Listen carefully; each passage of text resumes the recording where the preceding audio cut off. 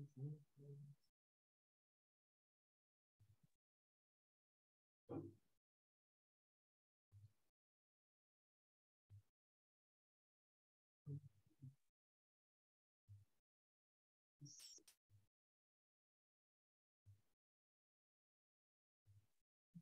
嗯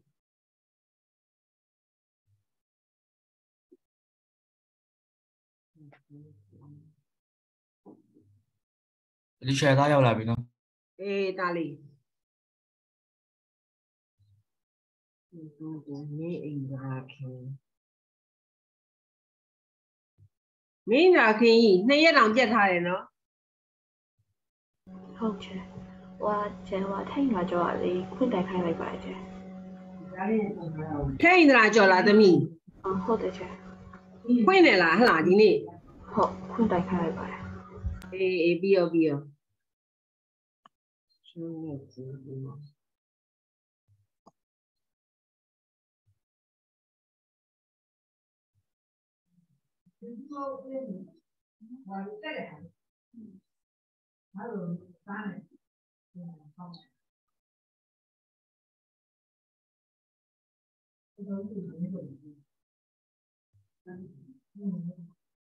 အဲ့ညီတော့မလာသေးပါလား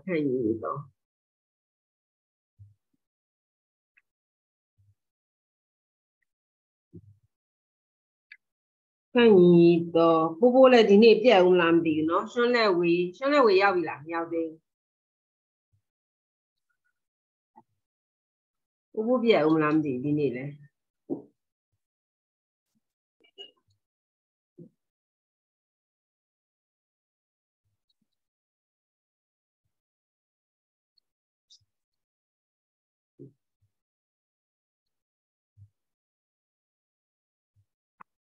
ရှွန်းလက်ဝေးရှွန်းလက်ဝေးရှွန်းလက်ဝေးပိုးပိုးခန့်ညီညီတော့ကဲစလိုက်ကြအောင်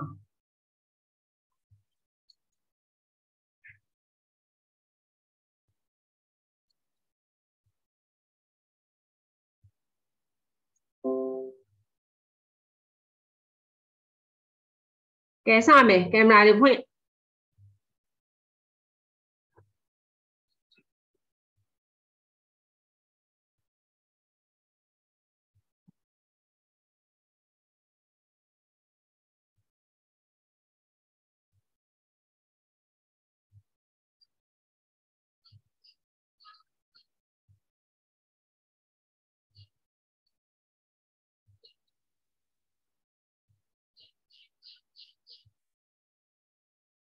ကျွန်းလက်ကြည့်ယူမင်းဣန္ဒရာခင်ကင်မရာဖွင့်လို့ရရင်ဖွင့်မယ်သမီးတို့ကျွန်းလက်ဝေလာပြီလားကျွန်းလက်ဝေဝင်လာပြီဘုရားဒီနေ့လည်းမလာဘူးနဲ့တွေ့ကြည့်ရဖိတ်ညီတော့လည်းဝင်မလာသေးဘူးကဲစမယ်ဟိစမယ်ဟိဆိုတော့ဘာအောင်စမှာလဲဆိုတော့ number 4ဒီနေ့ကဟုတ်တယ်မလားဟုတ်ပါဘူးဟုတ်တယ် Number four, time. Page number 170. Number 4, show that the equation of this line is 2x plus 3y is equal to 24. Show that the equation of this line is the 2y, 2x plus 3y is equal to 24. အဲ့ဒါပုံပေးထားတယ်အဲ့ equation နဲ့အဲ့ line နဲ့တူလားဆိုတာကိုတို့ကရှာပေးရမှာအဲ့တော့ x ရဲ့ value y ရဲ့ value လေးတွေကိုရှာပေးလိုက်ရှာပေးလိုက်လို့သူ equation နဲ့ညီတယ်ဆိုလို့ရှိရင် x ရဲ့ value ကဘယ်လောက်လဲ12 y ရဲ့ value က8ထည့်လိုက်ပေါ့12နဲ့8နဲ့ထည့်လိုက်လို့ရှိရင်20 is equal 24ပေါ့ ပုံပေးထားတယ်ပေးမှာ right side မှာအဲ့ပုံလေးက number 4ရဲ့ပုံဆိုတဲ့ဖြစ်တောင်ပြလို့ရတယ် तू က x ရဲ့ value ကို12လို့ပေးထားတယ် y ရဲ့ value ကို8လို့ပေးထားပေးထားတယ် line လေးဆွဲပေးထားတယ်အဲ့တော့ substitute လုပ်လိုက်လုပ်လိုက်ပြီးတက်တည်ပြလိုက်ဒါဆိုလို့ရှိရင်ပြီးသွားပြီ a answer b answer find the gradient of the line ဆိုလို့ရှိရင်အဲ y is equal to mx plus c ဆိုတာကိုပြန်ပြောင်းပြန်ပြောင်းပြီးလို့ရှိရင် h က မြောက်ဖော်ကိန်းက gradient ပဲဒါပေးလိုက်ရင်ပြီးပြီဒီကဒါကိုရှာခိုင်းတာပဲရှိုးသက်ကတော့စိတ်တွက်နဲ့တွက်လိုက်တော့တော့အဖြေရရတယ်အဲ့တော့ y is equal to mx plus c ပုံစံဖြစ်အောင်ပြန်ပြောင်း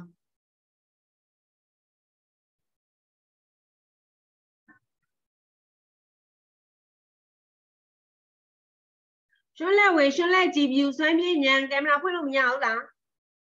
ခွန်အားချက်မီးပြက်နေလို့ဟုတ်လားရွှန်းလက်ဝေရအောင်ဟုတ်မီးပြက်နေလို့ချက်ကြံစီမအောင်မြင်ဖြစ်တယ်ခွန်အားဟုတ်ပြီဖွင့်မှာကင်မရာလေးတွေ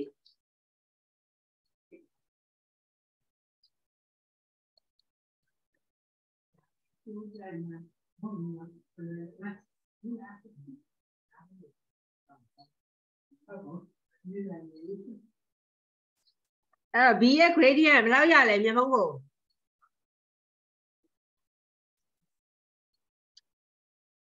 minus 0.6 minus 0.6 7 0.6 minus 0.6မဟုတ်ဘူး ကြံချကြည့်ပါဦး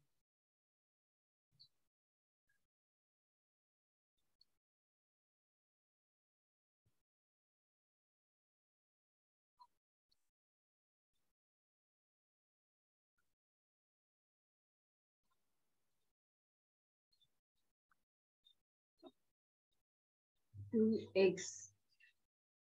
2 2x plus 3y is equal 24လေ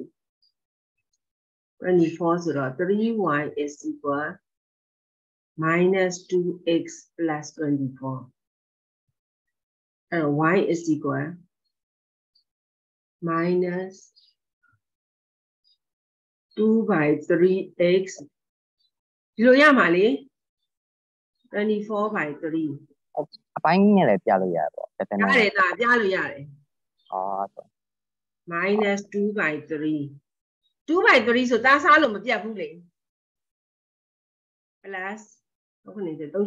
24ဒီလိုဖြစ်သွားမှာ equation ရအဲ့တော့ gradient is equal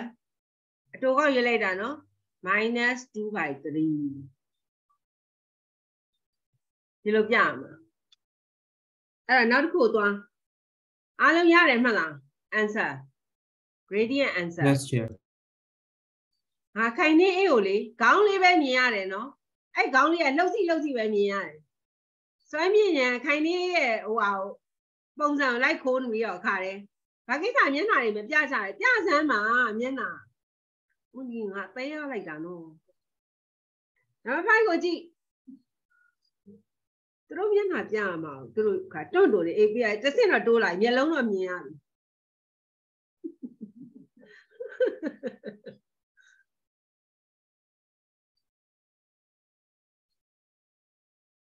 Number 5ကဘာလဲဆိုတော့ write each of these equation in the form y is equal to mx plus c ကြောင်း draw the graph each line နဲ့ draw လုပ်အောင်မယ်နော် find the gradient ပြီးရင် gradient နဲ့ရှာရမယ် y is equal to mx plus c ပုံစံပြောင်းပြီးတာနဲ့ gradient ကရှာလို့ရသွားပြီ line ကတော့ကိုယ့်ဘာကို draw လုပ်လုပ်ပြီးတော့အဲ့ line ကနေပြီးတော့ gradient ကိုရှာမနေနဲ့ကြာလို့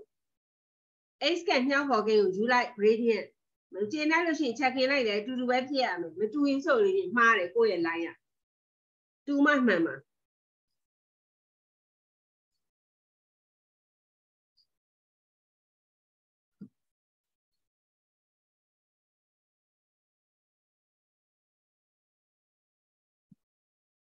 အမှန်တော့ပဲအနားကြီးတယ်ဘာမှပြောစရာမလိုဘူးအငြင်းတမ်းဖွင့်ထားတယ်ပြီးရော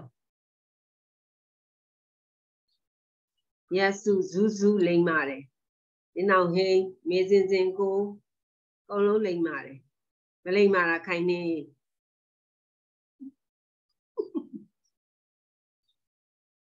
အဲ့လိုပြောလည်းမပေါ်ပါဘူးမပေါ်ဘူးခိုင်နေအေး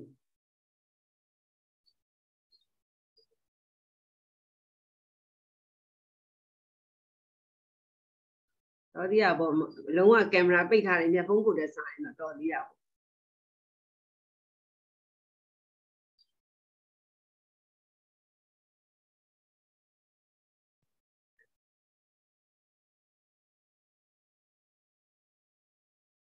ကဲ draw the graph each uh, line နဲ့ line ကနှစ် line ဆွဲရမယ် number 5က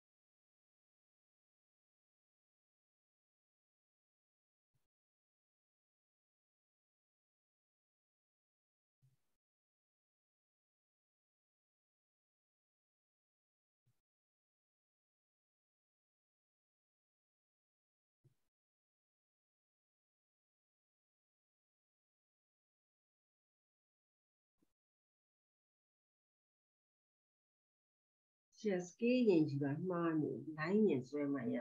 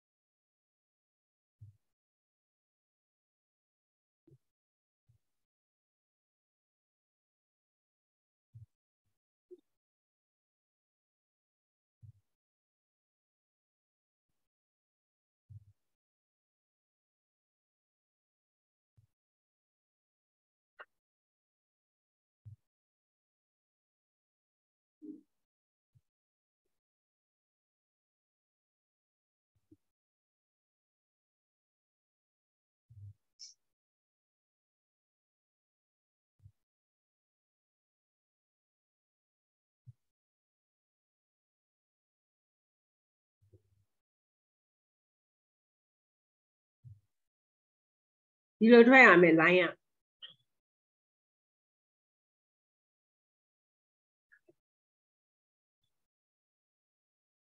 x value y value လေးတွေယူပေး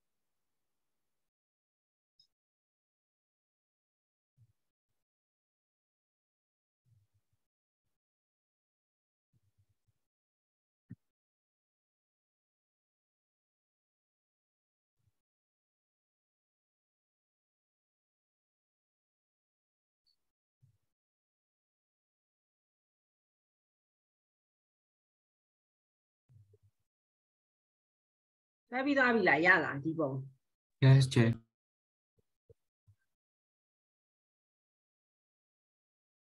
ခန့်ညီတော်လေးမတက်ဘူးကွယ်ဟုတ်တယ်မလားတက်ဘူးအခလေးလေးဘာဖြစ်လို့လဲမသိဘူးဒီနောက်ဟေး C answer တွေရလား gradient တွေရရရပြီဆိုလို့ရှိရင် number 6ကိုကြည့် number 6ကဘာပြောထားလဲဆိုတော့ match equation eh, each equation to the correct line တဲ့အဲ့မှာပုံလေးပေးထားတယ်အဲ့တော့6က small a equation ကဘယ် line နဲ့ညီလဲဆိုတာကိုကိုယ်ရှာပေးရမယ်အဲ့တော့သူဖြတ်တဲ့ point တွေကိုအစားသွင်းကြည့်ရမယ်သူကစားသွင်းကြည့်လိုက်တယ် c ကမမဖြတ်နေလဲဆိုတော့ c က C က04ကိုဖြတ်နေတယ် 04ကိုဖြတ်နေလို့ရှိရင်သွင်းကြည့်လိုက် C က04ကိုဖြတ်နေတယ် A ရဲ့ number 6 A ကဘယ် line နဲ့ညီလဲဆိုတာကို point စီရှာပေးလိုက်ရှာပေးပြီးတော့ C မှာဖြတ်နေတဲ့ဟာနှစ်ခုဟိုအောင်ရှင်းထည့်ပေးလိုက် C ဆိုလို့ရှိရင်ဆိုလို့ချင်တာ A ရဲ့ A မှာကနော်ရှင်းပြလိုက်တာကောင်းပါနံပါတ် 6A ရတဲ့ ပေးထားတယ် x 2y is equal to 8အဲ့တော့ c ဆိုတဲ့ line က04ဆိုတဲ့အမှတ်ကိုဖြတ်တယ်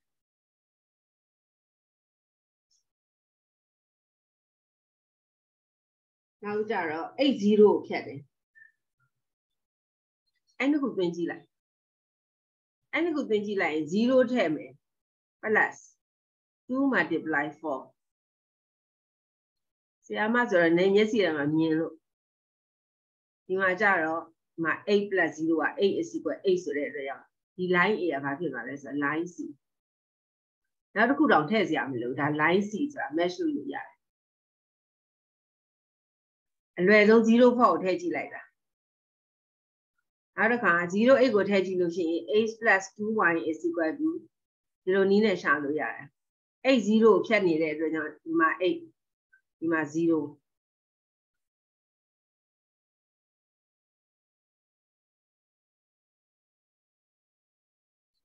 8 is equal to 8ဒီလိုပြပြရတယ်ဒါကြောင့်မလို့ line C လို့နှစ်မှတ်စလုံးထည့်လိုက်ပိုသေးကြသွား line C ဖြစ်သွား A ရသူကဖြတ်သွားတဲ့အမှတ်လေးတွေပေးထားတယ်အဲ့ဒီအမှတ်ကလေးတွေကိုယူပြီးထည့်ကြည့်။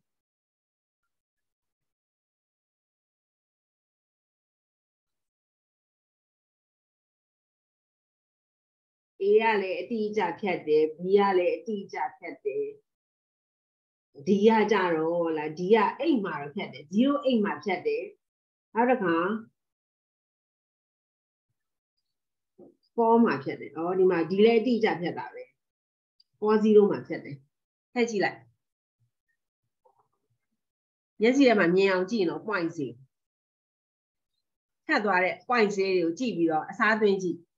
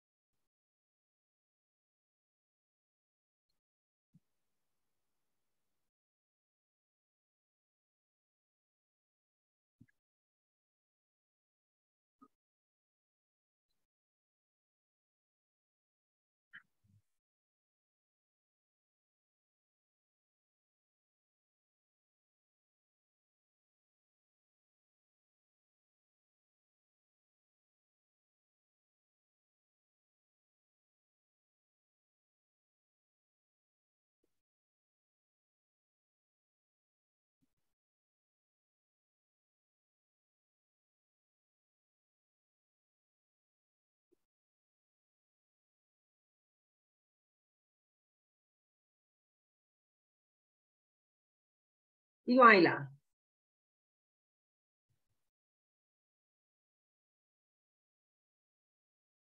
နေစင်ကိုပြီးပြီလားသမီးနံပါတ်6ကိုပြီးပြီးချက်ပြီးပြီနော်အဲ့ဒါဆိုလို့ရှိရင် B ရဲ့ answer က line ဘယ်လောက်လဲ B equation က line ဘယ်လောက်လဲ line B ချက် line B ဟုတ်ပြီမျက်စုပြီးတော့ C ရဲ့ answer line ဘယ်လောက်လဲ line D line D ဟုတ်ပြီ ခိုင်းနေပြော D ရဲ့ answer line ဘယ်လောက်လဲ line A line A နားလည်တယ်နော်ဘယ်လိုရှာရမလဲဆိုတာနော်အဲ့ဒါနောက်တစ်ခုကိုကြည့်မယ်နောက်တစ်ခုကကြတော့တဲ့ right x plus 4y is equal to 40 in the form y is equal to mx plus c ပုံစံကိုပြောင်းပေးမယ်တဲ့ပြောင်းပေးပါတဲ့ပြောင်းပေးပြီးတော့နောက်တစ်ခုကကြတော့ b ကဗာမေးထားတယ် which line has the equation x plus 4y is equal to 40တဲ့အဲ့တော့ which line ဆိုလို့ရှိရင် a b c ပြီးတော့ပေးထားတယ်ဟော မျက်စိလေးနဲ့ကြည့်လိုက်တာနဲ့သိတယ်ဘယ်ဘယ် value ကို x က value နဲ့ y ရဲ့ value ကိုဘာထည့်လို့ရှိရင် equal 40နဲ့ညီနိုင်မလဲဆိုတာကိုတော်တဲ့ကလေးဆိုရင်စဉ်းစားတတ်တယ်မျက်စိနဲ့ကြည့်လိုက်တာနဲ့ကိုမကိုစဉ်းစား line ABC ဘယ် line ဖြစ်မလဲတဲ့ find the equation of the other two lines other two lines ရဲ့ equation တွေကိုစဉ်းစားပေးပါတဲ့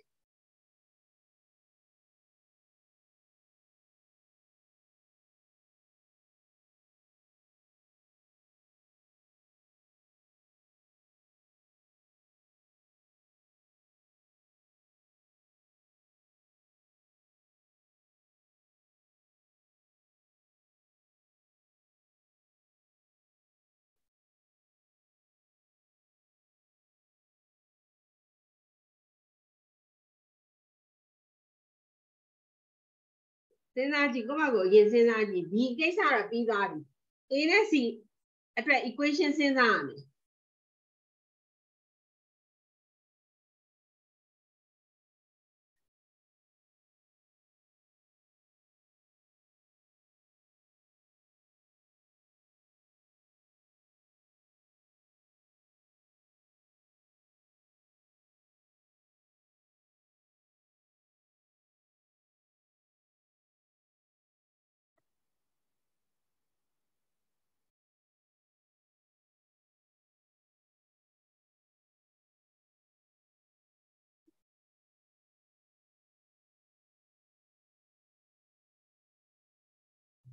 x plus 4y ရဲ့ equation value ကပြောင်းသွားတယ်သူရဲ့ x နဲ့ y နဲ့ value တွေအစားသွင်းလိုက်လို့ရှိရင်ဟိုမှာ equal to ဘယ်လောက်ဖြစ်သွားမလဲဆိုတာကိုရှာ a ဆိုလို့ရှိရင်ဘယ် point ကိုဖြတ်လဲဆိုတော့0 20 020ရဲ့80ရဲ့ကိုဖြတ်တယ်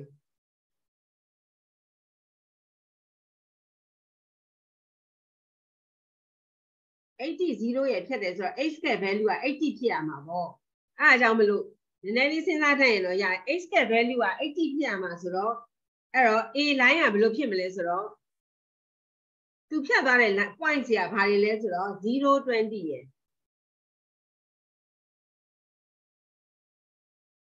020ရဲ့နောက်တစ်ခါကျတော့80ရဲ့ x က80 အဲ့တော့80ကိုစဉ်းစားတာပို့ပြီးလွယ်တယ်80ကိုစဉ်းစားမယ်ဆိုလို့ရှိရင် y က0ဖြစ်နေတယ် y က0ဖြစ်နေတယ်ဆိုတော့ x 4y is equal 40လို့ပေးထားတယ်မလား तू က40လို့ပေးထားတဲ့ဟာကို तू ကဒီမှာဆိုလို့ရှိရင် x 80 0ထည့်လိုက်တယ်ဆိုလို့ရှိရင် x ရဲ့ညမှာ80ထည့်လိုက်တယ်ဆိုလို့ရှိရင် तू ကဘာဖြစ်မလဲဆိုတော့ဒီမှာ0ဖြစ်သွားတယ်ဒီမှာ0ဖြစ်သွားမယ်ဆိုတော့ဘာဖြစ်မလဲဒီဘက်က value က80ဖြစ်ရမှာပေါ့ သူ့ equation ရဲ့ a ရဲ့ equation ကဘယ်လိုဖြစ်မလဲဆိုတော့ x 4y is equal to 80ဖြစ်ရမယ်ဒါမှ80 is equal to 80ဖြစ်မှာဒီလိုစဉ်းစားရမယ်ဒါအလွယ်ဆုံးမြင်တာတယ်ဟိုထဲ့မစဉ်းစားရင်တော့မျက်စိလေးနဲ့ကြည့်လိုက်တာနဲ့တွက်လို့ရတယ်ဘာဖြစ်လို့လဲဆိုတော့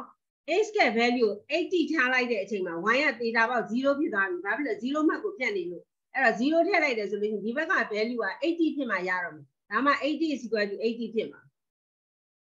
ဒါကြောင့်မလို့ line A ရဲ့ equation က x 4y is equal to 80 line C ရဲ့ equation က x 4y is equal to ဘယ်လောက်ဖြစ်မှာလဲအောက်ကတော့ရပြီလား answer ရပါပြီချေဘယ်လောက်လဲတောင်း um ကျေဟို line စီရဲ့ equation က y equals to minus 1/4x ရချေ minus အဲ y equals to minus minus 1/4x 1/4x အာဟုတ်ပြီအဲ့အတူတူပဲချက်ချပြမယ်ဟုတ်တယ်မှတ်တယ် minus x y is equal to minus 1/4x လို့ရတယ် ဒီလိုရေးလဲရတယ်ဒီလိုရေးလဲရတယ်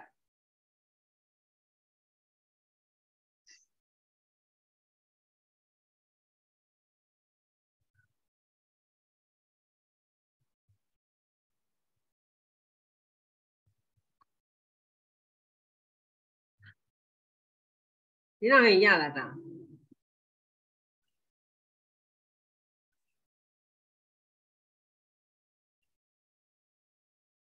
လာတာနောက်ရင်တမ်းကြအောင်လားဟုတ်ရပါတယ်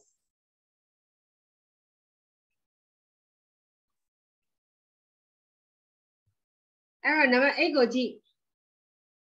လူတိုင်းရတယ်နော်လူတိုင်းရတယ်နော်မရတဲ့လူမရှိဘူးနော်မျက်ဖုံးကိုရလား yes sir အဲ့နံပါတ်8ကိုကြည့်နံပါတ်8ကဘာပြောထားလဲဆိုတော့ rewrite it, this equation in the form y is equal to mx plus c ဒါကတော့ လူတိုင်း a စိလုံနိုင်နေပြီမျက်စိနဲ့ပြီးတော့လုံနိုင်နေပြီ find the gradient of each line in part a တဲ့ gradient နဲ့ရှာနိုင်နေပြီ h ဆက်မြောက်ပေါ်ကိန်းရှာပေးလိုက် y is equal to mx plus c ရအောင်တော့အရင်ရှာရှာပြီးလို့ရှိတော့မှ h ကမြောက်ပေါ်ကိန်းရှာရမယ်နော် equation ကိုတွေ့ရတဲ့ h ကမြောက်ပေါ်ကိန်းဒီမှာ20လို့ယူလို့မရဘူးနော် small one မှာ 20x plus 2y plus အဲ 20x equal to 2y plus 15လို့ပေးထားတဲ့အားကို h ဆက်မြောက်ပေါ်ကင်းက20ဖြစ်နေလို့ gradient is equal to 20လို့ပေးရင်မှားတယ်နော်ဘယ်လိုဘယ်မှာကြည့်ရမှာလဲဆိုတော့ y is equal to mx plus c မှာကြည့်ရမှာနော် y is equal to mx plus c form ဖြစ်အောင်အရင်ပြောင်းပြောင်းပြီးတော့မှ h ဆက်မြောက်ပေါ်ကင်းကိုယူရမှာနော် gradient ကအဲ့ဒါမမှားနဲ့နော် equation မြင်တာနဲ့ h ဆက်မြောက်ပေါ်ကင်းဆိုပြီးယူလို့မှားတယ်ပြီးရင် line graph ဆွဲပါတဲ့ဒါတွေကတော့ချိန်ညက်နေပြီလူတိုင်းလုံနိုင်နေပြီအဲ့ဒါ အားမအခုချိန်ကြီးမလုံနိုင်သေးဘူးဆိုလို့ရှိရင်တော့အဆင်မပြေတော့ဘူး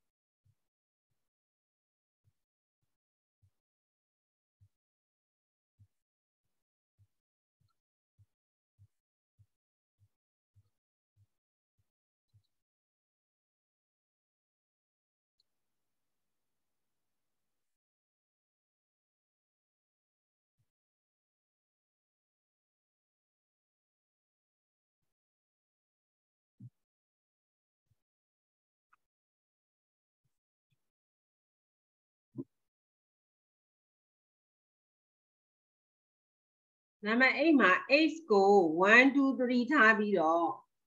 y ကို5 10 20 15ထား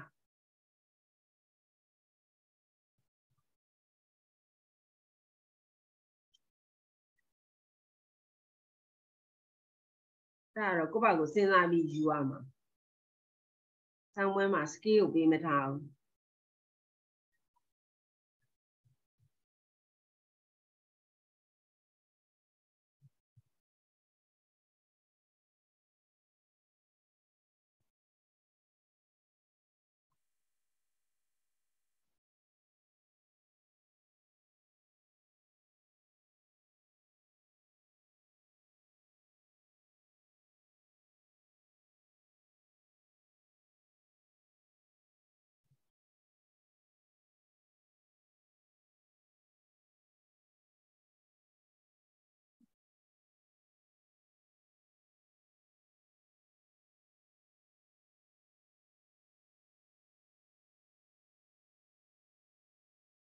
ဒါ small 1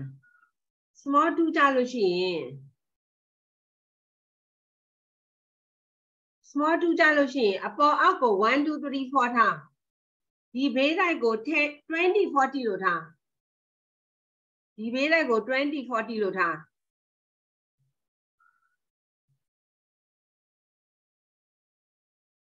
ဒါ small 2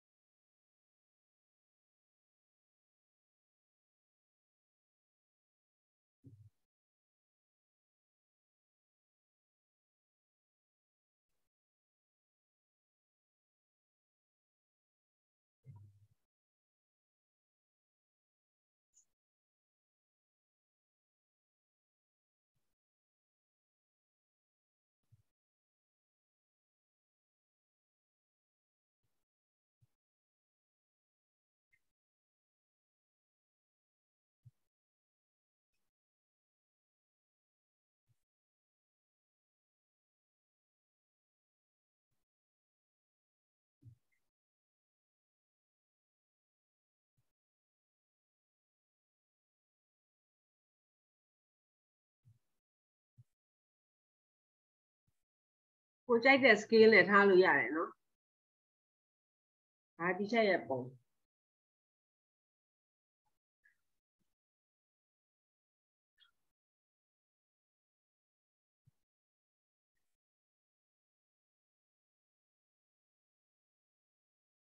ကျဲဟို graph mean တစ်ခုစီအတွက် coordinate အဲဒီတစ်ခုပြီးတစ်ခုလောက်ရမှာလားချေအေးပေါ့ဒါအဲ့ဒါမှ line ဆွဲလို့ရမှာပေါ့ ဟုတ်ချေဟို mean တစ်ခုပေါင်းဆွဲလို့မရဘူးချေ coordinate တစ်ခုထဲမှာအော်ပုံတစ်ပုံနဲ့ဆွဲကျင်တာလားအဲ့လိုပြောရလားဟုတ်ချေ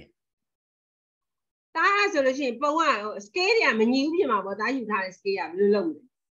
scale တူတူပဲယူမှာလားဟုတ်ချေဟိုတချို့ဟာတွေရောအတူတူပဲယူမှာချေဆွဲကြည့်လေသားပုံဘယ်လိုထွက်လာလဲကြည့်မယ်လေဟုတ်ချေဟိုဒီဘုံကတော့ scale မတူမှမတူလို့မဖြစ်ဘူးချေ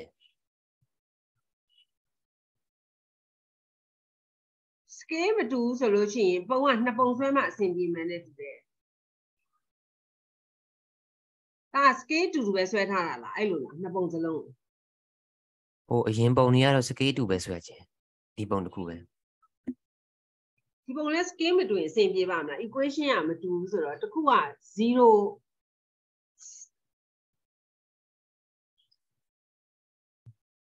ကျအဲ့ဆိုကို scale တူလို့ရှိရင်ကို coordinate တစ်ခုထဲမှာပဲဆွဲလို့ရတယ်ချေဆက်လို့ရတယ်ရတယ်ရတယ်ရတယ် scale တူရင်ရတယ်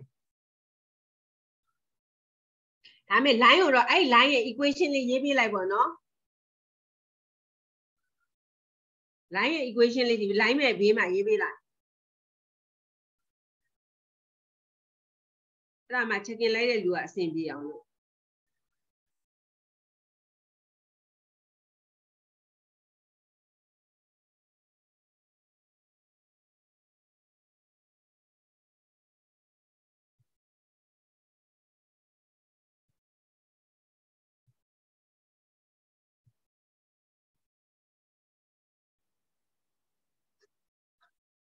scale twin တပုံနဲ့ဆွဲပေးပါရတယ်ဒီလိုမျိုး line ရဲ့ equation လေးရေးပေးလိုက်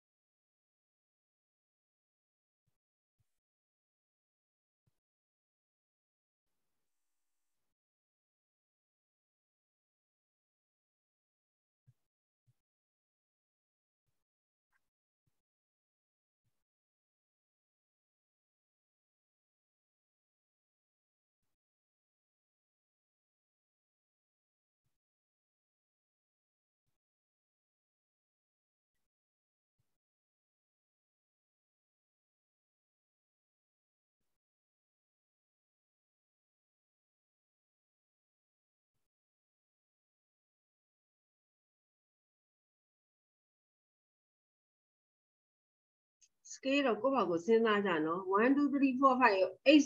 ဟိုတမန်ရိုးကြကြီး8လဲ1 2 3 4 5 1လဲ1 2 3 4 5ဆိုလို့ရှိရင်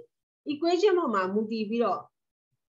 တို့ကဆွဲရမှာ1 2 3 4 5ကြီးပဲပုံနေဆွဲလို့မရဘူး line တွေကအဲ့ဒါတော့ကိုယ့်ဘာကို decision ချရမှာ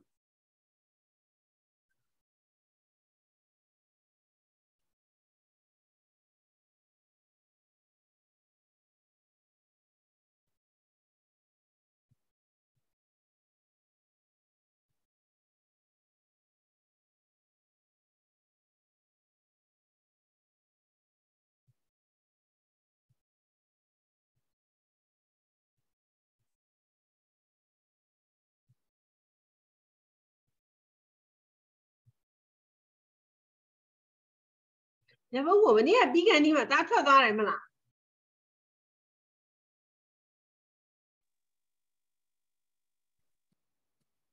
ဟုတ်လားမမီးရချေမမိတော့ဘူးညဘုတ်ကိုအားမရှိဘူးလားဘယ်လိုဖြစ်နေတော့ပြောစမ်း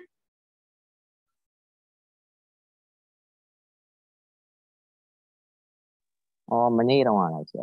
ဟုတ်တယ်အဘကလည်းမနေ့တော့15မိနစ်နားလေးမှပြတ်သွားတာအေးမတွေ့တော့ဘူးနောက်ပိုင်းနေ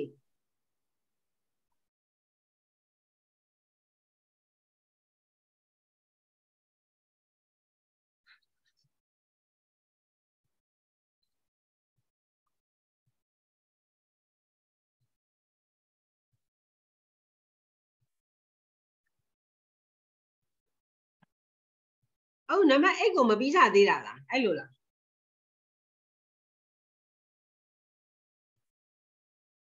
ဟုတ်လားမျက်စုချက်ဘာပြောလိုက်တာလဲချက်နံပါတ်8ကိုမပြီးသေးတာလားလို့ဟုတ်လားအပြီးသွားပြီချက်နံပါတ်9ကိုတွက်နေရအော်9ကိုတွက်နေတာလားအကုန်လုံးပြီးကြပြီလားအော်ငြိမ်နေကြတယ်ဟုတ်ပြီဟုတ်ပြီအဲ့ဆိုလို့ရှိရင်ပုံကဒီပုံတွေထွက်ရလားဟုတ်ချက်ဖွင့်လာတယ်ဟုတ်ပါဘူး မားကုန်ပါပြီဟုတ်ချက်အာထွက်တယ်ပြောမမေကဘေးနာကကင်မရာဖွင့်ထားလို့ပြောလို့ဟုတ်ပြီဟုတ်ပြီပုံထွက်ရင်ပြီးအောင်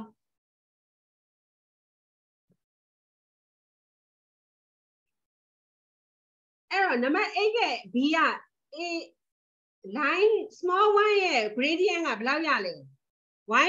is equal to mx plus c ကိုပြောင်းလိုက်တော့ x က အဲ line A ရဲ့ gradient ကဘယ်လောက်ရလဲမျက်စုရေအာ1 over 20 0.05ရတယ်1 over 20 1 over 20မရဘူးတမီးရဲ့ဘာဖြစ်လို့လဲ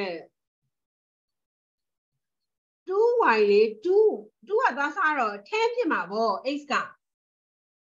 ဟုတ်တယ်မလား ဟဲ့ချက်လေအာ20 20 wine ဒီချက်မဟုတ်ဘူးသမီးကို small one answer small one answer ကိုမေးနေတာချက်ချက် 9a ကိုပြောရမယ်နံပါတ်8လေ b လေနံပါတ်8 b က find the gradient လို့ပြောထားတယ်လေ each line in part A တဲ့ part A ရဲ့ line တွေရဲ့ gradient ကိုရှာခိုင်းတာလေအဲ့တော့ A ရဲ့ small one က A ရဲ့ small one gradient ကဘယ်လောက်ရလဲဟိုတမီးနံပါတ်9ကိုပြောနေတယ်ချက်ဩနံပါတ်8ကမ check မလိုက်ရသေးဘူးဆောင်း gradient ပါဦး gradient တန်းရတယ်ချက် small တန်း one ရတယ် small 2 small 2ကကရော1 over 20ရ1 over 20ဆိုတော့0.05ပေါ့ဒီလိုရတယ်အဖြေရကြရလားမသိဘူးအဖြေ တကင်လိုက်ကြပါကိုယ့်အဖြေဒီမှာရလားမရဘူးဆိုလို့ရှိရင်ပြောရတယ်ဆိုရင်နံပါတ်9ကိုသွားမယ်နံပါတ်9က the equation of line A is x is equal to 20y and find the gradient of the line အဲ့တော့ gradient of the line ဆိုလို့ရှိရင် y ရဲ့ value ကိုရင်းရှာ y ရဲ့ value ဆိုလို့ရှိရင် x ကိုတွားပြီးတော့စဟိုဘက်ကိုတွားစအဲ့တော့1 20ပေါ့ equation က y is equal to နံပါတ်9အကြောင်းကိုပြောနေတာနံပါတ်9ကဘယ်လိုဖြစ်မလဲဆိုတော့နံပါတ်9ကဘယ်လိုဖြစ်မလဲဆိုတော့ y is x is equal to 20y ဆိုတော့ y is equal to x by 20ပေါ့ x by 20ဆိုတော့1 by 20 multiply by x ပေါ့ဒီလိုလေးပြတာပေါ့ဒီလိုလေးပြတော့ gradient ကဘယ်လောက်လဲဆိုတော့1 by 20လို့ပေးလဲရတယ် decimal နဲ့ပေးလဲရတယ်ဒါ gradient နောက်တစ်ခုက find the coordinates of point P တဲ့အော် P ရဲ့ coordinates တွေရှာပေးရမယ်ဒါပြထားပြီးသား point P လေးကို point P ရဲ့ coordinate ကရှင်းရှင်းလေး point P ကဘယ်နေရာမှာဖြတ်နေတာလဲဆိုတော့ x ရဲ့ value ကို point b က point b is equal to x ရဲ့ coordinate ကဘယ်ဟာလဲဆိုတော့40 x ရဲ့ coordinate က40ဟိုက246နဲ့ထည့် y ရဲ့ value ကိုမပေးထားဘူး246နဲ့ထည့်40.2လို့ပေးဒါမှဒီ equation ကိုပြေးလဲတယ်40.2 find the equation of the line B line B ရဲ့ equation ကိုရှာမယ်ဆိုလို့ရှိရင်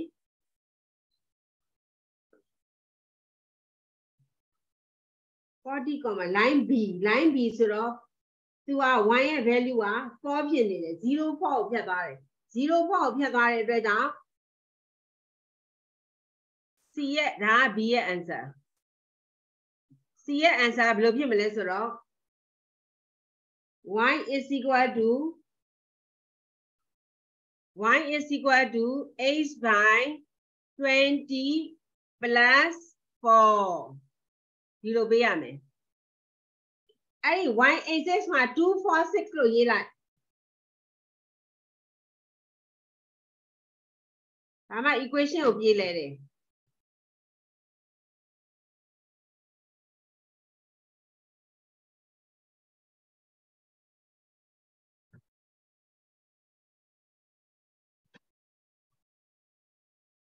ဒီအရာအောင်နားလည်လားဘာဖြစ်လို့လဲဆိုတော့0 4ဆိုတဲ့အမှတ်ကိုဖြတ်သွားလို့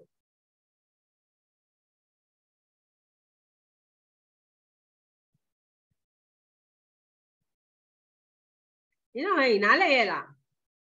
လဲဦးလားဟဲ့ငိုင်းနေတယ်လို့ပဲဂိုင်းကြနေရတယ်ဒီလေနင်းအော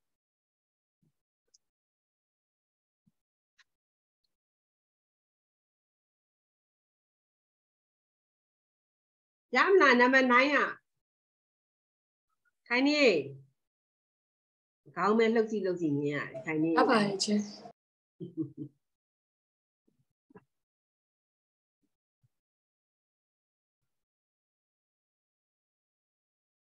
ဆွဲပြည့်ညာတော့တရွတ်ဆွဲပြီးလိုက်နေတယ်စင်ပြေရလားလည်းမသိဘူးကဲနံပါတ်10ကိုလောက်ကြနံပါတ်10 နံပါတ်10မှာ100နဲ့ပေးထားတာเนาะအဲ့တော့အဲ့တော့ table ကိုဘယ်လိုဆွဲမလဲဆိုတော့10 20နဲ့ဆိုရင် scale x y တွေကို10 20နဲ့ဆွဲ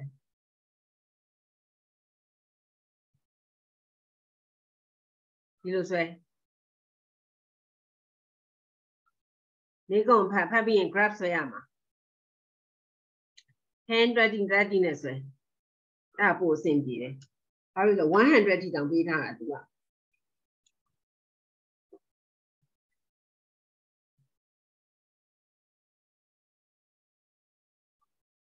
ပြီးရင် line ဆွဲမယ် line ဆွဲပြီးလို့ရှိရင် where do the lines cross တယ်နော်ဖြတ်သွားတဲ့အမှတ်ကိုမေးထားတယ်နော် तू ကဘယ်အမှတ်မှာဖြတ်သွားလဲဆိုတာကိုမေးထားတယ်အာတေချာ line ဆွဲဆွဲတော့မှပေါ်မှာပြီးရင်ဖြတ်သွားတဲ့အမှတ်ကိုမေးမယ် ဘယ်နေရာမှာဖြတ်သွားလဲလို့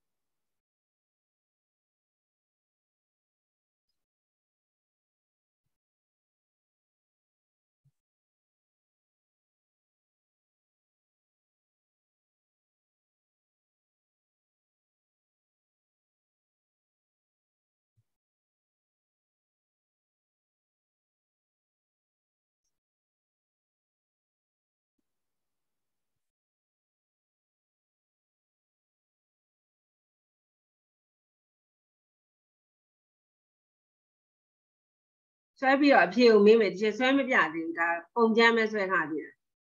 ဘယ် line တွေဖြတ်သွားလဲဆိုတာကြည့်မယ်အခုကတစ်ချက်တန်းမျက်စိနဲ့နားလာတော့အဲ့ဒါအခုမီတင်ထွက်လို့ရအောင်လို့ချက်အေးပါအေးပါအေးပါဟုတ်ပြီဟုတ်ပြီသမီး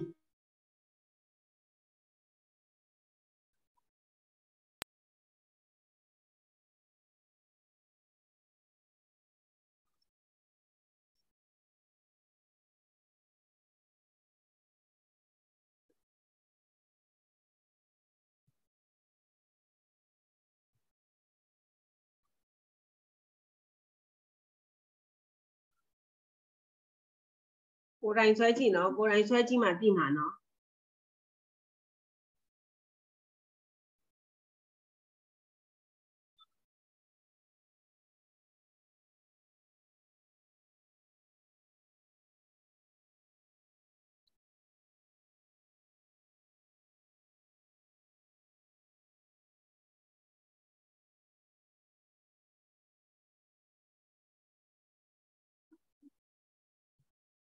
ဒီကျင်းထွက်သွားတဲ့လူတွေတော်တော်များတယ်တော့တို့ဘယ်နှစ်ယောက်တော့မှမကြံတော့၄ယောက်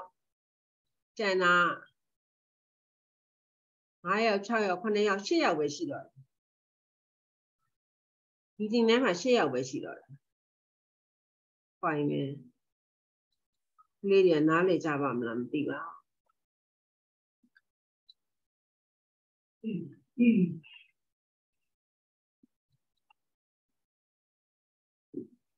ရှစ်ယောက်ပဲ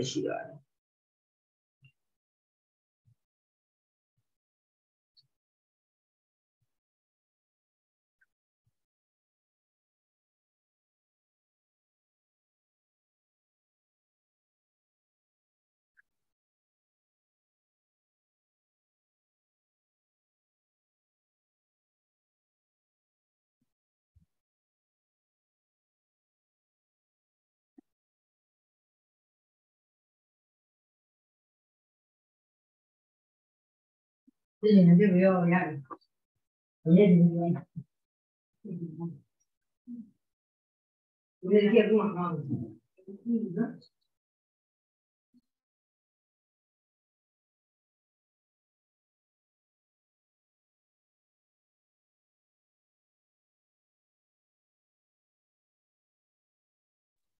ဇူပြီးဝိုင်းလားဇူဟုတ်ဟို နမက်စီကိုရှာနေချေနမစီကိုဟမ်အော်နမစီကိုရှာအေးရှာလေးလိုင်းနှစ်လိုင်းကဘယ်အချိန်မှာဖြတ်သွားလဲဘယ်ပိုက်မှာဖြတ်သွားလဲတဲ့ရှာခိုင်းတာသမီးကိုဖြတ်တယ်မလားလိုင်းနှစ်လိုင်းဖြတ်တယ်မလားဟုတ်ဖြတ်တယ်ချေဖြတ်တယ်အဲ့ဒါဟိုဟာပဲရမယ် exactly မရဘူး approximately ပဲရတယ် approximately လို့ပဲရေးလိုက် approximately ဘယ် point ကိုဖြတ်လဲဆိုတာရှာပြီးဘာလို့လဲဆိုတော့ corner ကိုဖြတ်တာမဟုတ်ဘူးနှစ်နှစ်နှစ်လိုင်းอ่ะဟုတ်တယ်မလား ဟုတ် corner ကိုမဖြတ်ဘူးဆိုတော့သမီးတို့က exactly မရဘူး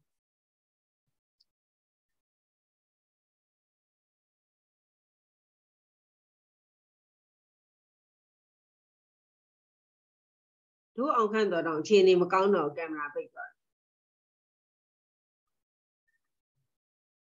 မီးတွေကအရန်ပြက်တာ哦ဟုတ်ချေဟာရပြီလားအောင်ခန့်တော်ဘယ်မှာဖြတ်လဲချေဟိုပြီးတော့မယ်ချေခဏအာအေးအေးရတယ်ရတယ်စောင့်မယ်စောင့်မယ် တစ်ချက်ဟုတ်ဟေးတာဒါဒါကြတော့15.15မှာဖြစ်တယ်15.15 exactly လားမဟုတ်ဘူးကျနည်းနည်းလေးရ exactly တယ်ရောရတယ်15.15လည်းရတယ်မှန်တယ်15.15လည်းယူလို့ရတယ်သူကအလဲနာလေးမှာပေါ့နည်းနည်းလေးနေတယ်အလဲသိမ့်မရောက်ဘူးဆိုတဲ့အတွက်တီချာကတော့14.14လို့ပဲယူထားတယ် ဟုတ်ကျ ရတယ်15တော့15ဆိုလဲအမှတ်ပေးမှာပဲเนาะသိမ့်မဘူးနဲ့ ချေ အမှန်တော့မမဖြတ်လဲ 15.14ရချေ 15.14ဒါ1 2 3 4ယူလို့လား exactly answer ကြီးထွက်နေတာဟုတ်လား ချေဟို excel လေးမဟုတ်ချေဒီချေလိုပဲ30 20 30ပဲသွားချေ အော်အေးအဲ့ဒါဆို approximately ပေါ့ရတယ်တာယူရတယ်အဲ့ point နှစ် point ရဖြတ်တယ်ဆိုတဲ့အတွက်ကြောင့် 15.15ဖြစ်ရင်ဖြစ်မဖြစ်ရင်တာယူတဲ့ point က15.14 14.14ဖြစ်ရမယ်နိတာဟုတ်တယ်မလား point ချတစ်ခုပဲဖြစ်ရမယ်လေဟုတ်ချေဖြတ်တယ်နော်14.14သို့မဟုတ်15.15မှာဖြတ်တယ်နော်နင်းတော်ဟင်းဖြတ်ရလားအဲ့အဲ့အခုမှတပ်ပြန်ရောလို့ကျွန်တော်ပေါ့အခုမှဘာဖြစ်တယ်အခုမှပြန်ဝင်လာ ဒုက္ခပဲအလိုင်းကြသွားလို့လားအော်ပြီးပြောက်သွားဩအဲ့ဒါသားဆွဲကြည့်လိုက်ကိုယ့်ဘက်ကိုဆွဲကြည့်လိုက်ဒီမှာ teacher scale ပေးထားတယ်10 20 30နဲ့ယူရမယ်ဘာဖြစ်လို့လဲဆို equal 100လို့ပေးထားတယ်သူ equation ကြီးอ่ะအဲ့ဒါကြောင့်မလို့10 20 30နဲ့ဆွဲ scale ကိုဆွဲပြီးလို့ရှိရင် answer ကိုမှတ်ထားလိုက်14,14 or 15,15မှာ point က cross each other ဟုတ်ပြီနော်ဟုတ်ကဲနောက်တစ်ခုကိုသွားမယ်ကျန်တဲ့လူတွေရောရကြရဲ့လားလိုင်းတွေကမကောင်းတော့ကလေးတွေကထွက်လိုက်ဝင်လိုက်နေဆိုတော့စားအဆင်မပြေဘူးဖြစ်နေအဆင်ပြေအောင်သင်ရမှာပေါ့ကွယ်ဒီလိုပဲကဲလာနံပါတ် page number 171ကိုကြည့်ကြ page number 171 example 18.4 example 18.4မှာတဲ့သူက draw a graph of the line with equation x is equal to 0.5x plus 4 and uh, sorry y is equal to 0.5x plus 4 and y is equal to 2.5x minus 3တဲ့အဲ့ဒီ line ကိုဆွဲရမယ်တဲ့အဲ့ဒီ line ကိုဆွဲမယ်ဆိုလို့ရှိရင်တို့ကပြောထားပြီးသားဒီချက်ဟိုဟင်ဟို practice ပို့ကြော်လိုက်တာလေချက် ဟောဤဟုတ်သားပဲငါလည်းအရန်ဆန္ဒတွေစောရင်ပြီးကျင်နေပြီဒီ chapter ကိုဟုတ်တယ်ကဲ go to practice book ဒီစာအရန်ပြီးကျင်နေပြီဒီစာအုပ်ကိုအဲဒီ chapter ကိုဟုတ်တယ်မေ့သွားလို့ပါ practice book ကိုကဲ practice book လောက်ကြတာပေါ့ကွယ်ပြီးတော့မှဟို chapter ကိုသွားတာပေါ့ practice book ကဘာလဲဆိုတော့18.3ပေါ့ဟုတ်ပါဘူး 18.3နော်ဟုတ်တယ်မလား18.3မလားခုနလေဟိုဘက်ကအတန်းနဲ့ဝင်တော့မလို့ရောင်ပြီးနှိပ်လိုက်တော့မလို့ကန်ကောင်းနေတော့မှကိုယ့်အကိုတိုင်းကျပဲပြန်ကြည့်အော်ငါ D2 ကိုသင်ရမှာပဲဆိုပြီးတော့ဒီထဲဝင်လိုက်ရတယ်ဟိုဘက်အတန်းနဲ့မှားဝင်တော့မလို့18.3ရတဲ့ 18.2 No, 18.3 Mamale. 18.3, page number 86, practice book. Rearrange this equation into the form y is equal to r. Rearrangement အရေးရမယ် y is equal to mx plus c ဖြစ်ကြောင်းနဲ့ဒါတွေကကလေးတွေက easy going ဖြစ်နေပြီ each of the equation in part A in the equation of a straight line. Find the gradient of the each line. All right. Y is equal to mx plus c ပြီးလို့ရှိရင် gradient ကိုတခါလေးပြောလို့ရပြီပြောကြည့်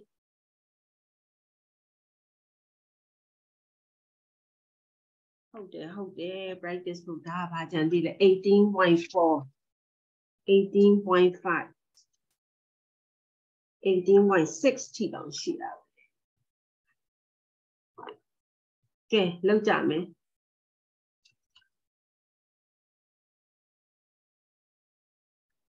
equation မဲ့ပြော equation ပြောပြီး gradient ကိုတခါလေးပြောလို့ရတယ် y is equal to mx plus c ပုံစံရပြီဆိုလို့ရှိရင်ပြောကြည့်ချက်ကို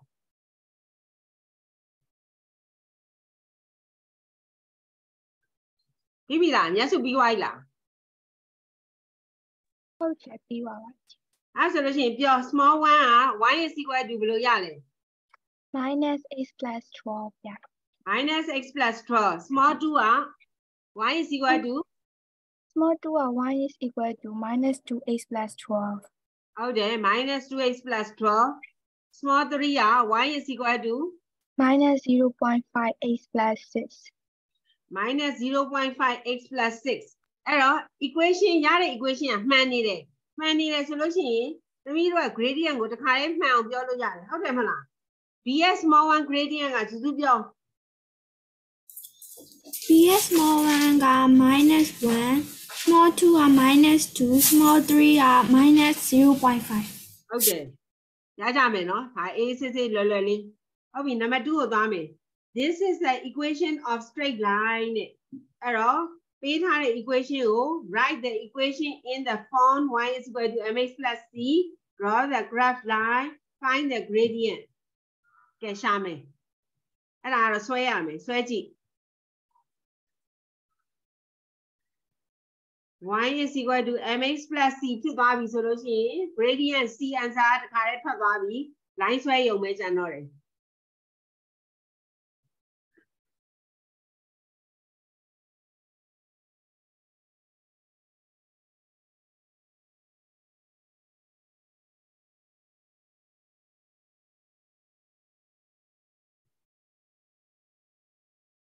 ဒီမှာတော့ဘာမှမပြောချင်ဘူးကြိုက်တဲ့ scale နဲ့ဆွဲလို့ရတယ်1.53ဆိုတော့ကြိုက်တဲ့ scale နဲ့ဆွဲကိုကိုကိုကိုကိုစိတ်ကြိုက်ပဲဆွဲ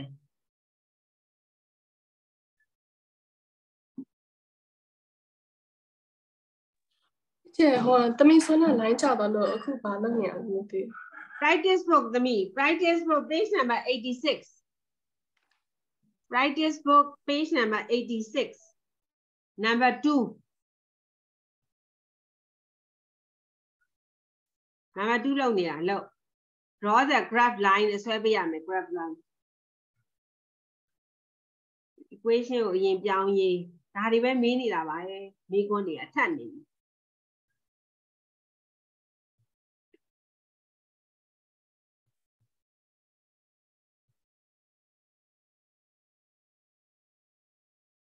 အောက်ကတော့ဒါဒီမှာလေ graph မဟုတ်ဘဲနဲ့နော်အဲ့အကွက်စာအုပ်မှာဆွဲလို့ရတယ်နော်ဒါဟုတ်ချေဒါအခုလောလောဆယ်လဲအကွက်ဆောင်နေမှာဆွဲနေအေးဒီချက်လည်းအကွက်စာအုပ်နဲ့ပဲဆွဲတာဟိုလို graph ကိုမသုံးတော့ဘူးအဲဒါဆိုအဲ့အကွက်စာအုပ်ကပိုအဆင်ပြေတယ်တို့အတွက်ဆွဲရတာ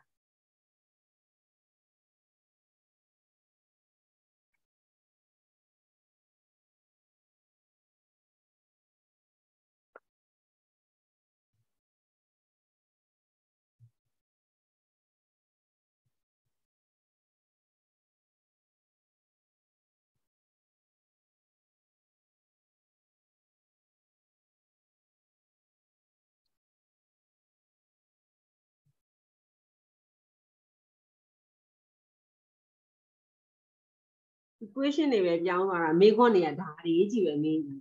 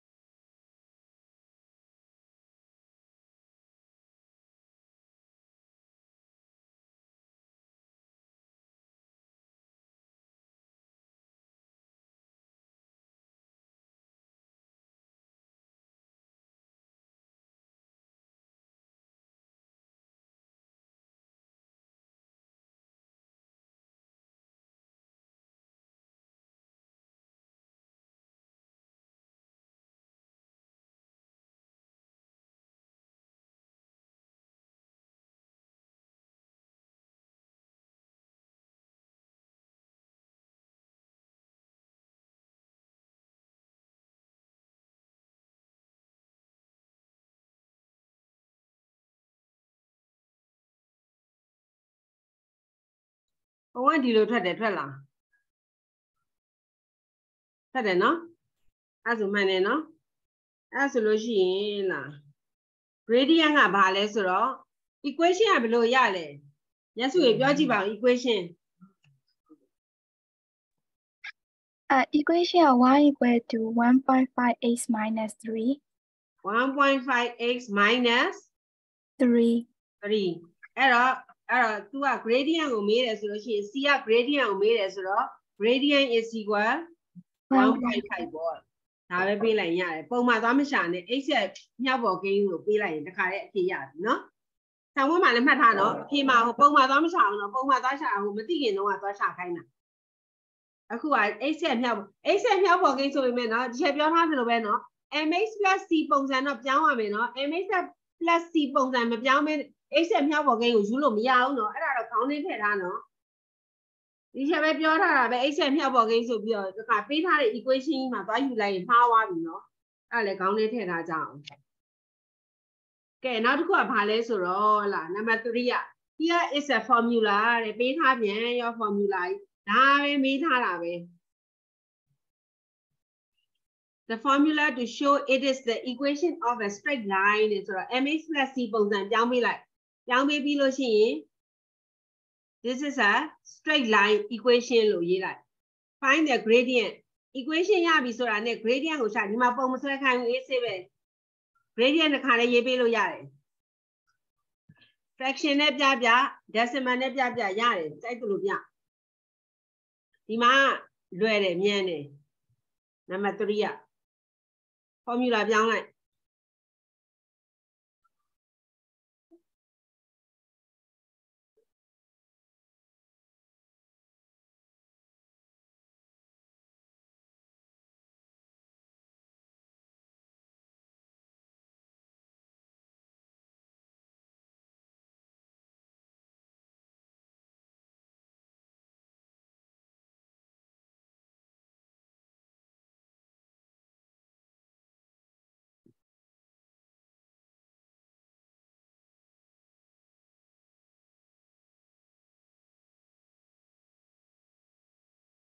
ညမကို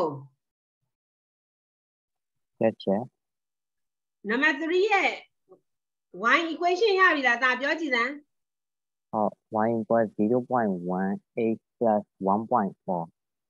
0.1x 1.4မှန်တယ်အဲ့တော့ gradient ကဘယ်လောက်ဖြစ်သွားမလဲ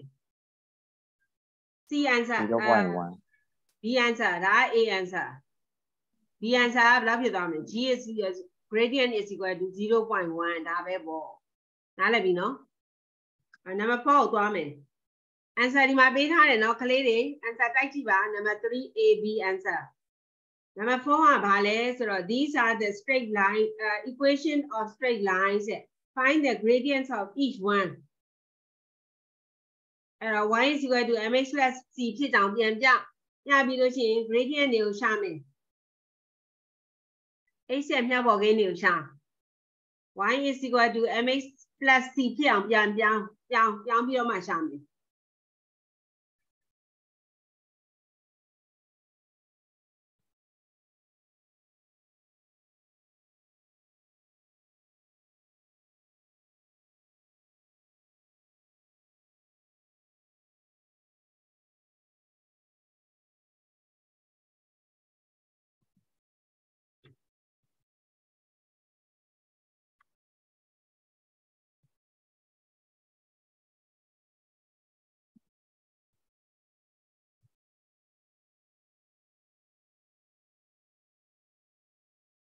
Where's my pen? ။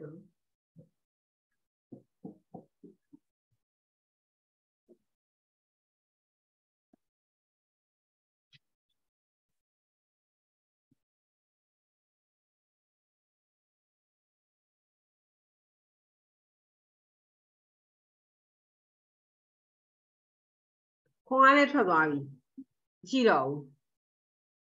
။တော်တော်များများမရှိတော့ဘူး။။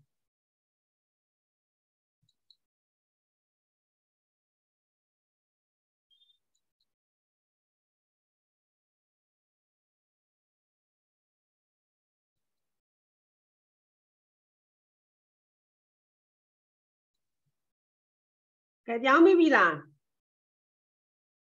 ဒီနောက်ဟဲ့ answer ရပြီလား။ Okay အဲ့ဆို A A B C D answer ပြော gradient နေပြောတာ for A answer ဘယ်လောက်ရလဲ for a and y equal to 1.5 h plus 2အဲ့တော့ gradient ကတောင်း gradient ပဲရှာခိုင်းတာသူက gradient answer တွေပဲပြောချက် A က1.5ပေါ့ A က and 1.5 1.5ဟုတ်ပြီ B ကကြတော့ b က minus 0.4 0.4 4ဟုတ်တယ် minus 0.4မှန်တယ်ကျန်တဲ့လူချက်ပြင်လိုက်နော် C answer ရော C ရဲ့ gradient ဘယ်လောက်ရလဲ c က minus 1 minus 1မှန်တယ် minus D က D ကကြ minus တော့ minus 1 C က minus 1မှန်တယ် D ကကြတော့ 1 5 5 gradient က5မှန် d ပါ က တယ် 5 5 ဟုတ်တယ် number 5ဟုတ်ပြီနောက်တစ်ခုကိုကြည့်မယ် number 5အမြန်လေးလောက်ကြမယ် the equation of one line on this coordinate grid is 5x plus 8y is equal to 40တဲ့အဲ line 3 line ပေးထားတယ် three lines are parallel and match the equation to the correct line on the diagram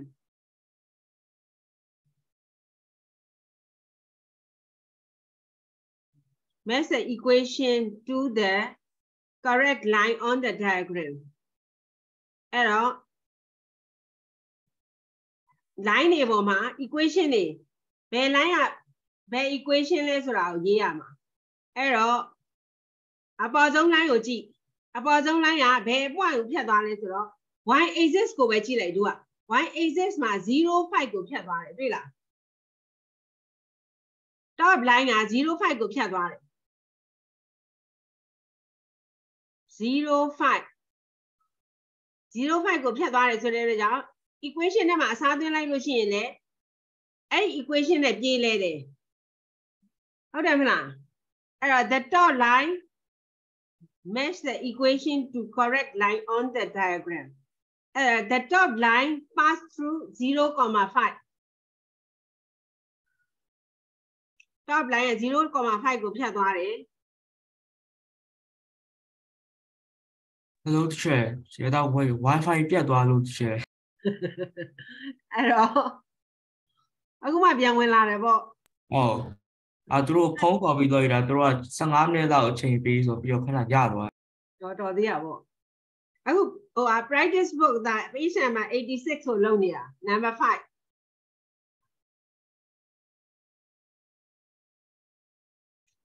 find the equation of the two the other two lines the other two lines မှာအဲ့တော့သူပေးထားတဲ့ equation ကတော့ 5x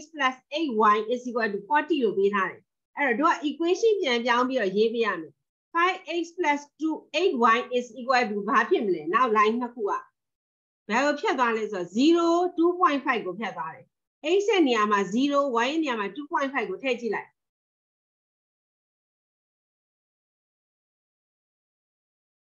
အဲ့ဆိုရင် ဟိုဘက်က equation equal to ဘယ်လောက်ဖြစ်သွားမလဲအဲ့ဒါကိုရှာပေးလိုက် 5x plus 8y is equal ဘယ်လောက်ဖြစ်သွားမလဲ equal ဘယ်လောက်ဖြစ်သွားမလဲ x နေရာမှာ0 y နေရာမှာ2.5နောက်တစ်ခါ x နေရာမှာ0နောက်တစ်ခုက original ကိုဖြတ်တာပဲ0 0ကိုဖြတ်သွားတယ်နောက်တစ်ခုက 0 0ကိုဖြတ်တဲ့ equation ကိုရှာပေးမယ်0 0 2.5ကိုဖြတ်သွားတဲ့ equation ကိုရှာပေးမယ်ဒီဘက်ကတော့ 5x 8y ပဲရမယ်ဟိုဘက်ကထွက်လာတဲ့ value ကပြောင်းသွားမယ်ဒါဖြစ်လို့ဆို points ရဲ့ value မတူလို့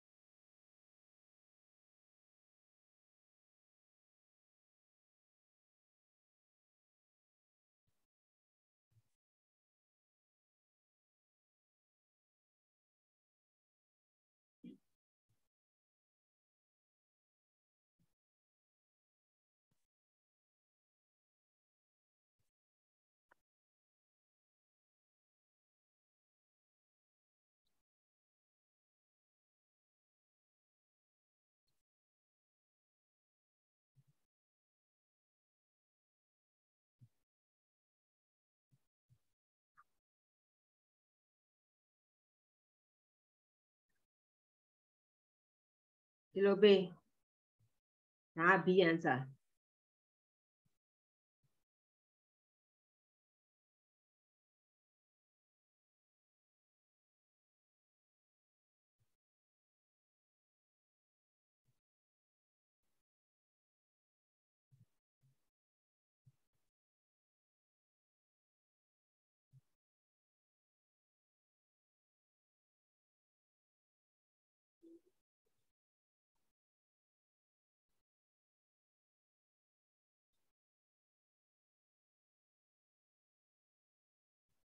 က B answer ကြည့်ဟို answer တွေကို y equals to mx plus c နဲ့ပြတယ်ရတာ y equal to mx plus c ဖြစ်အောင်ဒါအရင်ပြောင်းလေပြောင်းပြီးလို့ရှိရင်အဲ့ဒီထဲမှာ point တွေကိုယူပြီးတော့ x ရဲ့ value y ရဲ့ value အစားထိုးပြီးတော့ဒီဘက်ကထွက်လာတဲ့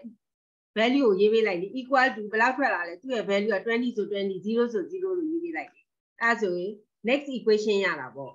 ဟုတ်ချင်အဲ့ဒါဆိုလို့ကျင်တာ point တွေကိုယူတတ်ဖို့ပဲအရေးကြီးတယ်ယူတတ်ရင်ရပြီရှင်းရတယ်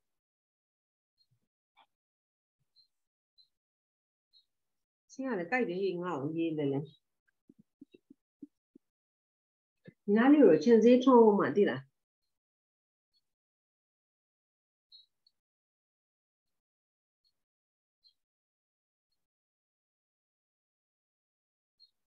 ဟောပြန်ဝင်လာကြပြန်ပြီခလေးတွေရှင်းလက်ဝေတို့ရှင်းလက်ကြည့်ပြီးတော့လိုက်နိုင်ရလားဘယ်ရောက်သွားပြီလဲသိရလားဟုတ်ပြီပါတယ်ချစ်ဟောပြီးရောပြီးရော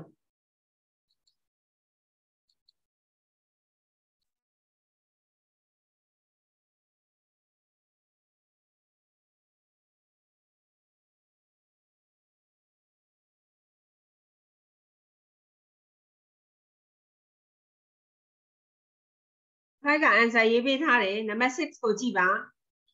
ဒီမှာဆွဲခိုင်းလား draw a graph the line နဲ့ဆွဲခိုင်းတဲ့တော့ line the equation of a straight line is x plus 100 equal to 20y နဲ့ write the equation of the ဒါတွေပဲခိုင်းနေတာလေရှာပြီးရှာ y is equal to mx plus c ဖြစ်အောင်ပြောင်းပြောင်းပြီးလို့ရှိရင် gradient ရှာ draw line draw line ဆိုတာဘယ်လိုဆွဲမလဲဆိုတော့ number 6က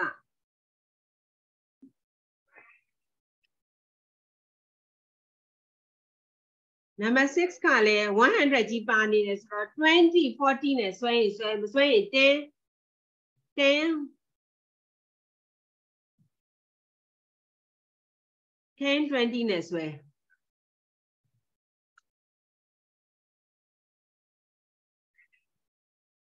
ဟုတ်ပြီတော့100ကြီးပါနေတယ်100ကြီးပါနေတယ်ဆိုတော့ဒီလိုဆွဲ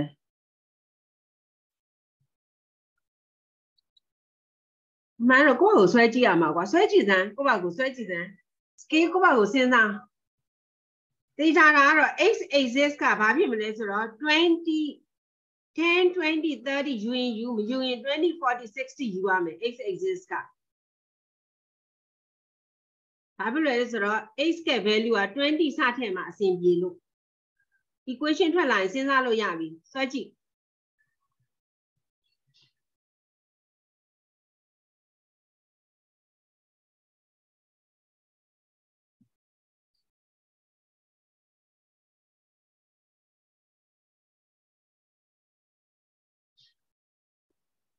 scale ကိုမပေးတော့ကြိုက်တဲ့ scale နဲ့ဆွဲ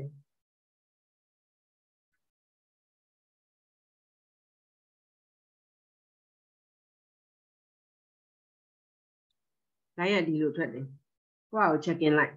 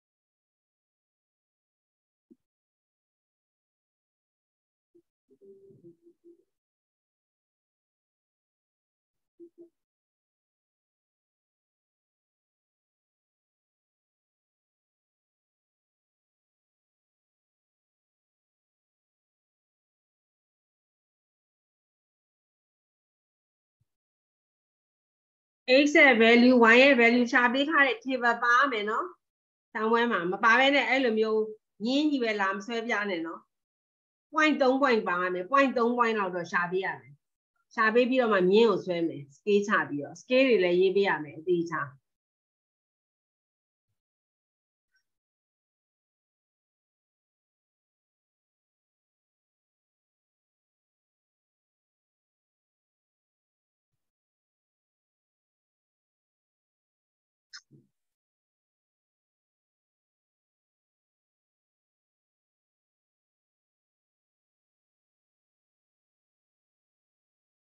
ရပုံးကို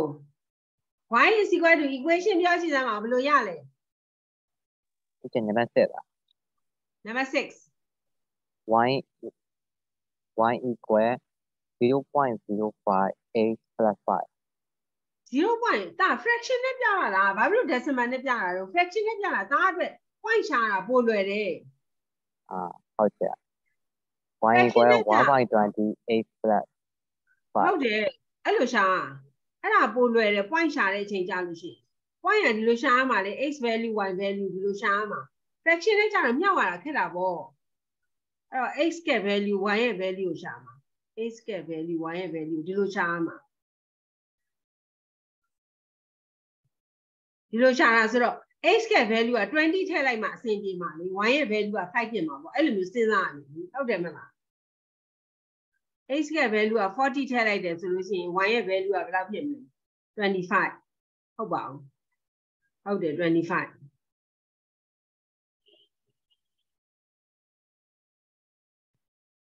x ရဲ့ value က60ထည့်တယ်ဆိုလို့ရှိရင်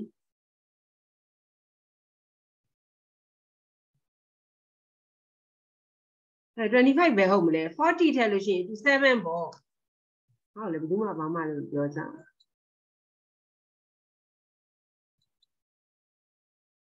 အဲစကေးရအရင်ကြီးနေပါလားလို့အောင်းမိ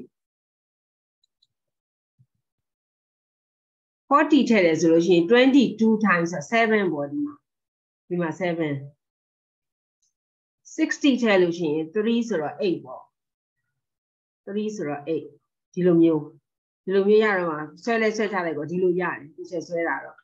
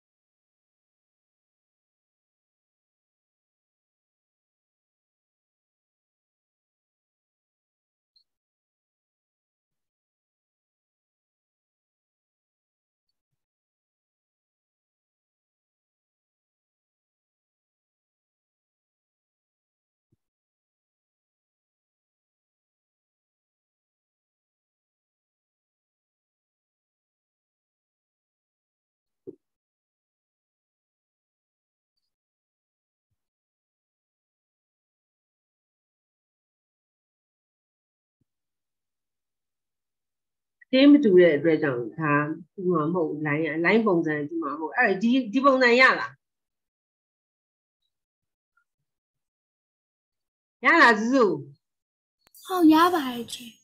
ညမုံကိုရော yes yes ရတယ်နော် point 3 point ရှာပြီးဒီလိုမျိုးအပြည့်အစုံဆွဲပြီးကဲအဲ့ဒါဆိုလို့ရှိရင်ဒီမှာပဲရက်လိုက်တော့မယ် မနေ့ပြန်မှာအော်မနေ့ပြန်ဆက်လို့မရဘူးနောက်တော့မှဆက်အဲ့လေကောင်းမကောင်းဘူးနင်တို့တွေပါသိလို့လေဆရာမအုံတော့မကောင်းဟုတ်ပြီ see you next week bye bye bye bye ချေ